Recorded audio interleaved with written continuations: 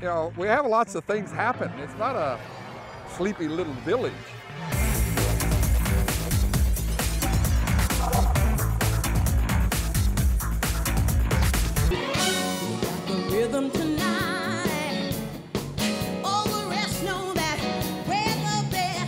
When someone said to me when I first landed, you're gonna love it here.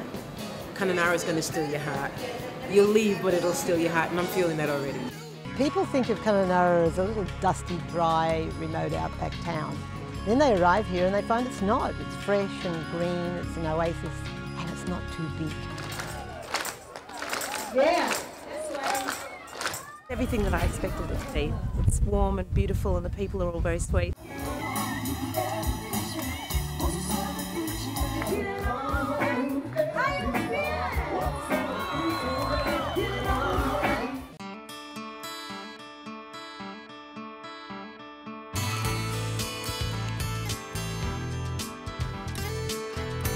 Yeah, Kununurra is a friendly place, got a lot of good people, a lot of good places to visit, nice settings and you know, there's water holes and fishing spots and um, a lot of wildlife, a lot of beautiful sort of landscape you can spend time just catching up to yourself, more or less.